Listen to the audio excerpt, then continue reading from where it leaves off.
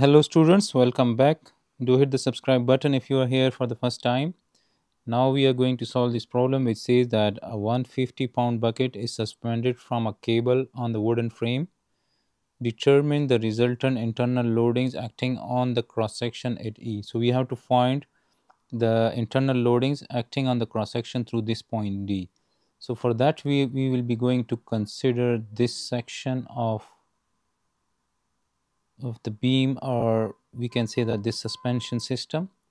So this will be our uh, EBC segment for finding the internal loadings. But to solve for the internal loadings at E, we must find the tension in this cable. So for that, we are going to consider uh, the free body diagram. We are going to cut it here and we have to represent the tension force here. So let me draw the free body diagram. The free body diagram will look like this we will have the tension here. So here we will have the tension that must be acting along this rope. Let's say this is T. And at A we will have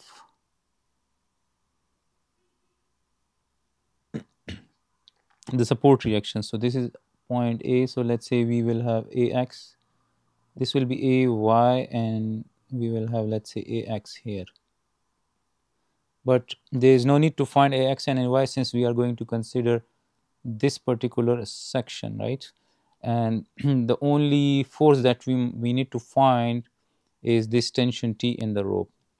So as you guys can see that this T is making 30 degrees so we will have one component here and we will have one component here. So let's represent the components here. So the, here we will have the sine component because the angle is made with the vertical. So this one will be the cos component. This one is t cos of 30 degrees and this one is t sine of 30 degrees.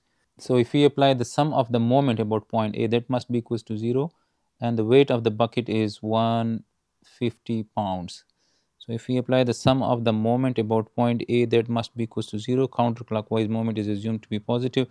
Now this uh, cos component is passing through point A. So its moment arm from point A is equal to 0 it's not going to produce the moment about point A.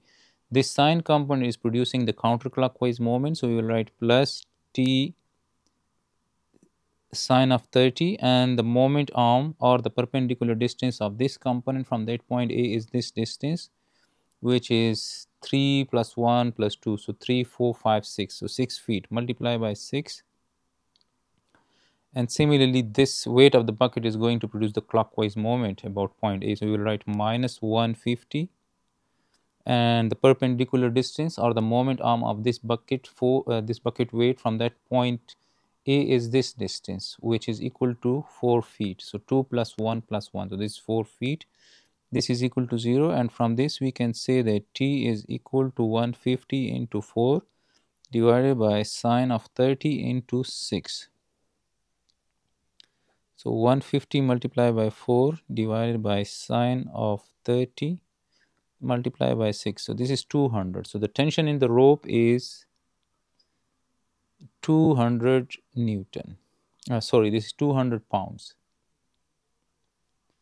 Now, once we find this tension, um, we can consider this EBC segment. So, let me consider, let me draw the free body diagram for finding the internal loadings.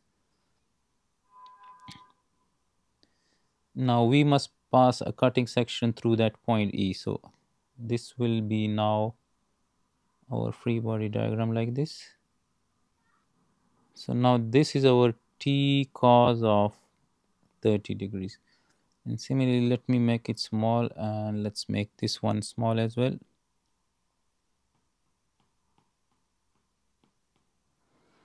And now at E we will have the the normal resultant force. Let's say this is n this is point E so this is NE we will have the shear force. So let's say that the shear force at the cross section is acting towards the right. This is VE and let's say that we have the bending moment so the bending moment is let's say in the clockwise direction so this is ME now we need to find this NE VE and ME considering this EBC segment. So segment EBC. So now if we apply the sum of the moment in the x, that must be equals to 0. The weight of the bucket is 150 pounds. So the sum of the forces in the x is equals to 0. Now VD is acting towards the, uh, VE is acting towards the right and towards the right is our positive direction. So plus VE minus this sine component of T. So T is 200. So minus 200 sine of 30 this is equal to 0 and VE is equal to 200 sine of 30 so 200 sine of 30 this is equal to 100 so now VE is equal to 100 pound VE is equal to 100 pounds and it is acting in towards the right so VE is acting towards the right now, if we apply the sum of the forces in the y, that must be equals to 0. Upward direction is considered to be positive. Now, we have an E in the upward direction. This is an E. So, you will write plus an E minus this component, the cos component of t. So, minus t is 200, 200 cos of 30 minus the weight of the bucket. So, this is equal to 0. Now, n E is equal to 200 cos of 30 plus 150 so 200 cos of 30 plus 150 this gives us 323.21 323.21 pounds this is the normal internal force uh, at the cross section through point E and similarly if you want to find the internal bending moment uh, at the cross section through E so we must apply the sum of the moment about point E that must be equals to 0. Counterclockwise moment is assumed to be positive. Now the assumed direction of ME is in the clockwise direction. So you write minus ME and again this cos component is passing through this point E. It's not going to produce the moment about point E.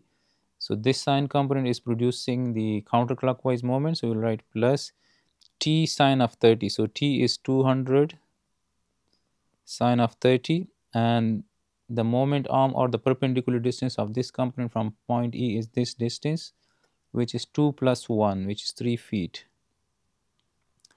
And similarly this weight of the bucket is producing the clockwise moment. So I will write minus 150 and the moment arm of this weight from that point E is this distance which is 2 plus 2 which is 4 feet. So multiply by 4 this is equal to 0. So now from this, if we bring this ME to the other side of equation, we will be left with this. So we can say that ME is equal to 200 sine of 30 into 3 minus 150 into 4. So 200 sine of 30 into 3, this is 300 minus 150 into 4. So this gives us minus 300. So ME is equal to minus 300 pound feet. So the minus sign tells us that the assumed direction is not accurate. Actually, ME is in the um, counterclockwise direction and its magnitude is 300 pound feet. So this is the solution of this particular problem. I hope this will help you in your learning. Do subscribe Engineers Academy for the solution of such more problems from Chapter 1 Mechanics of Materials by R.C. Hibbeler.